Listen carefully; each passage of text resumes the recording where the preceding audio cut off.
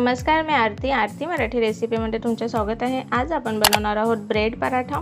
त्यासाठी लागणारे साहित्य चार ब्रेड एक कांदा बारीक चिरून घ्यायचा आहे कोथिंबीर बारीक चिरलेली मोहरी मीठ चवीपुरतं जिरे पावडर खाण्याचा सोळा दोन हिरव्या मिरच्या बारीक चिरून घ्यायच्या आहेत आणि अर्धा वाटी दही.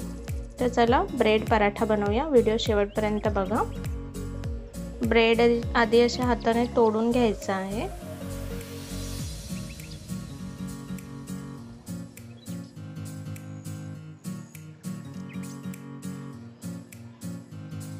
अशा पद्धतीने. छोटं मिक्सरचं भांडं घेतलं आहे त्यात हे ब्रेडचे तुकडे घालायचे आहेत आणि ह्याची पावडर करून घ्यायची दोन वेळा करून घेईल कारण पूर्ण एकत्र बसणार नाही.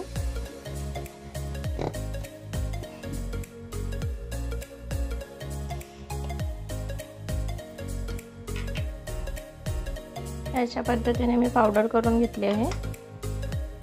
तयार करून घेतलेली पावडर एका बाउलमध्ये काढून घेतली आहे. कांदा हिरवी मिरची जिरा पावडर मीठ चवीपुरतं दही सर्व व्यवस्थित मिक्स करून घ्यायचं. आहे व्यवस्थित मिक्स करून घेतलं आहे. थोडं थोडं पाणी घालत आपण डोस्यासाठी जसं बॅटर तयार करतो त्या पद्धतीचं बनवून घ्यायचं आहे. हे मी अशा पद्धतीचं भिजवून घेतलं आहे बघू शकतो. आता हे ब्रेडनं पाणी सोसून घेतो. त्याच्यामुळे आपल्याला हे दहा मिनटं बॅटर हे असंच ठेवायचं आहे. दहा मिनटं झाले आहेत. बॅटर एकदा परत फिरवून घ्यायचं आहे थोडंसं घट्ट झालं आहे पण आपल्याला पाणी घालायची गरज नाही आहे सध्या. कोथिंबीर घालायची.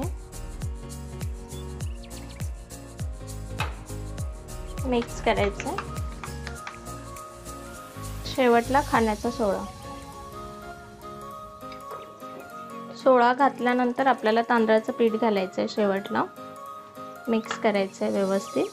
तर थोडं थोडं पाणी घालून आपण ह्याला व्यवस्थित असं बॅटर बनवून घेऊया. डोस्यासारखं. खूप जास्त पातळ नाही करायचं. हे मी अशा पद्धतीचं बनवून घेतलेलं आहे. आणि आपलं आता ब्रेड पराठ्याचं बॅटर तयार झालेलं आहे. आपण पराठा बनवूया. मी साहित्यामध्ये तांदळाचं पीठ दाखवायला विसरले होते. तर तुम्ही ते घालाच आहेत. स्किप करू नका. चला तर आता आपण पराठा बनवूया. एक पॅन घ्यायचा आहे गॅस चालू करायचा आहे. एक छोटा चम्मच तेल घालायचं आहे.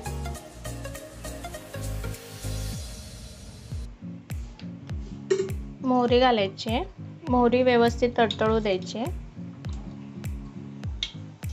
मोहरी तडतडली की असं स्प्रेड करून घ्यायचं आहे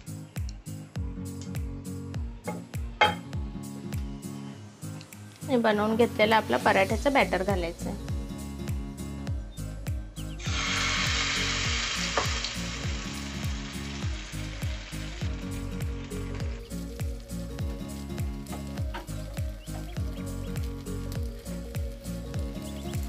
चम्मचच्या साह्याने मी थोडासा पराठा गोल करून घेतला आहे. असं फिरवून घ्यायचं आहे म्हणजे जे आपली मोहरी टाकलेली ती व्यवस्थित पराठ्याला लागते. आणि एक पाच मिनटं मीडियम फ्लेमवरती पराठा आपल्याला शिजवून घ्यायचा आहे आता आपण बाजू पलटून घेऊयात. बघू शकता किती छान रंग आलेला आहे. आणि खाण्यासाठीही तो तितकाच टेस्टीही लागतो. आता दुसऱ्या बाजूने आपल्याला व्यवस्थित पाच मिनटं शिजू द्यायचं